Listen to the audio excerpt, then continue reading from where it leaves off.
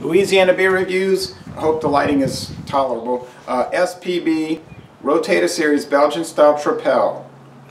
It says the Peach Band. It's it's a beer, and they've got this band glued on it. That's what they do with this Rotator Series. Glue the band on it. If you look at the website, it'll give the different color bands. I think Okay. that's because they only have it uh, released for a couple of months. Yeah, this company was founded in. Yeah, the rotator. They rotate different things. It was founded in 2013. This was canned on March 10th, 2017. It's got date, guys. It's less than a month old. Means it's fresh. And you brought it. Yes, sir. You like Tripels, the Belgian style Tripel, the bright ales. Um, 9% alcohol. That's a Um, big one, guys. It's brewed in um, Hattiesburg, Mississippi.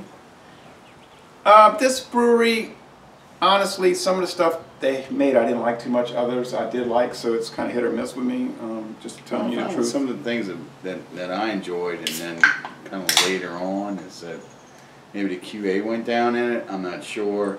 But definitely a taste difference in what you expected, what you became accustomed and used to, and then what you got in the final one. Where'd you buy this at the 504? No, I did get to set Helios is uptown New Orleans. Uh, Helios Wine. Warehouse.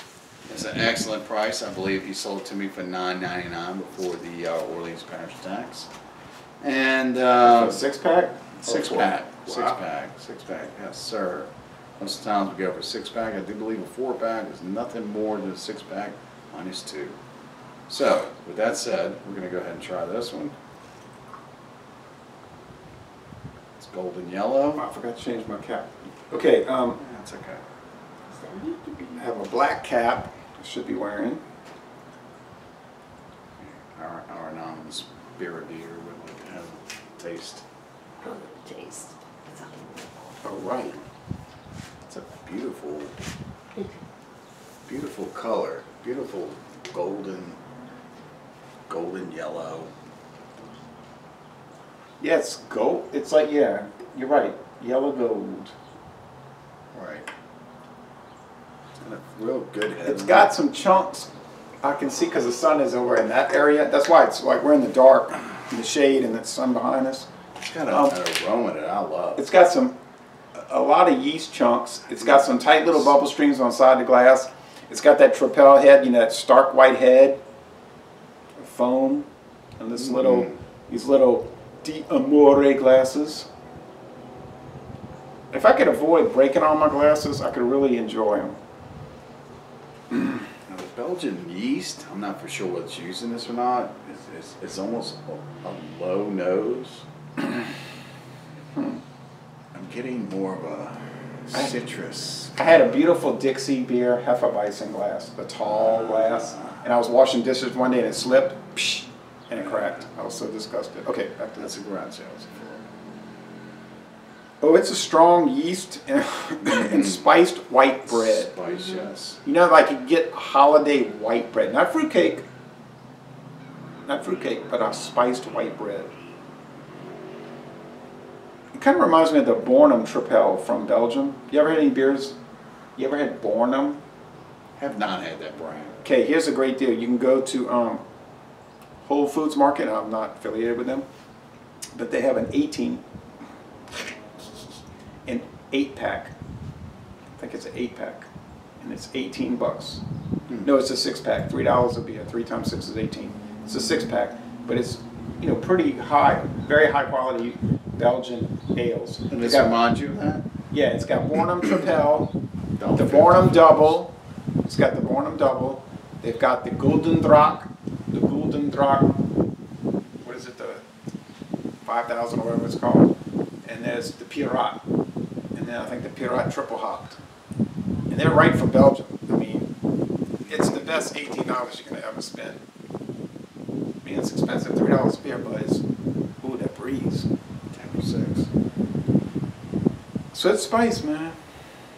Spicy yeast. They probably use candi sugar in it. Cheers, so let's taste it. Hear that frog?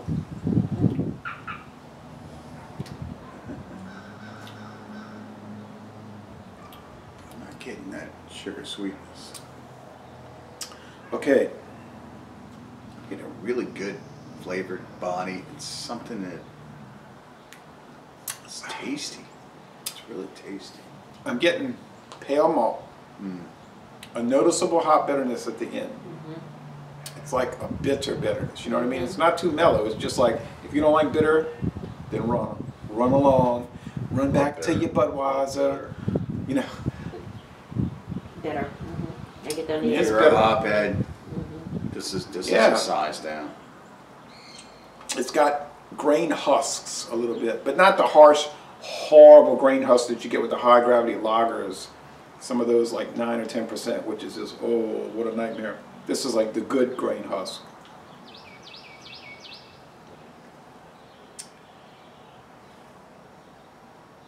Like a little bubble gum or something. You know, if, if I didn't know this was nine percent, I'd argue and say it's five, maybe six. It's got too much body to be five percent. The body's high, medium. It's almost in a heavy body. This is not a light body beer. Yeah, I think it's a high body. It's a heavy body. Okay, so your your your Medium experience dry. is the high alcohol holds body together make makes To me, okay. generally, not exclusively. Um, I love the same way. it's mostly dry in the finish. Mhm. It's drying. Mhm. It's like sucking all your your life force out. Almost like like a lemon would. yeah. Like suck on a lemon, you get that face and it's almost like that. Well, this is pretty good. This is a pretty good attempt. I don't think it's up, and you would have to try the Bornem Tripel, okay, and the and the Piraat, those are some Tripel, to really compare because those are from Belgium, and it's hard to replicate what they do over there. I think, but um, I think it's it's dang good, and um, Dang. I think it's darn good, and um, Darn. I would give it an A. Most excellent. About a 95 on the test paper. I'm, right there, right there with you, Jay. I'm thinking this is a most excellent beer. Love the mouthfeel on it, the alcohol. Nice glass right lacing. Nice glass lacing. We Um, rinsed the glasses from the yeah. bourbon. The, oh, I'm sorry, the Tennessee whiskey. um, It's- It's just right there. It's, it's, it's a delicious beer. so if you see the Southern Prohibition uh, Peach Band um, Tripel, I would highly recommend getting it. The price is right, $9.99 for a six pack. Um, it's not Only at Perfect. Elios is, Yeah. it's probably ten ninety nine and eleven ninety nine elsewhere. Yeah, I haven't been. You know where I have not been in a year? Stein's Deli. Whew, he's so hard to get to. All the construction going on out there. I haven't been there in a year. Best way to go is go to Chop and then come up from Chop. Oh, I've been Brown going down Magazine from the expressway. Well, you can go, you can go that way. At any rate, take Chop in. Okay, well, um, and then go up that street where I got in the wreck, up Jackson Avenue, where the guy pulled out in front of me, Yeah. going against the one way I might add. So back on the beer, I do believe this is a transition beer from our loving stouts into rolling into warm weather. I would say that this is a Yeah, better. It's a springtime beer. Correct. Wouldn't want to drink it in July. No, A no, little and, too heavy and the, the release time is perfect. Uh, I do believe the website said that it's limited release between the months of April, April. and May. April and May.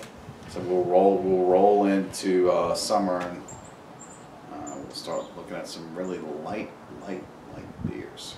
All right, well, there's the LA Bonton Relay. Uh, most excellent product from Hattiesburg, Mississippi. Um, Pine Belt, he'll probably review it. He does those a lot of Mississippi beers, Pine Belt beer reviews. He doesn't do a lot of beer reviews, but he does occasionally. So, check out. yep, y'all come on down to New Orleans or Baton Rouge and go see Southern. In the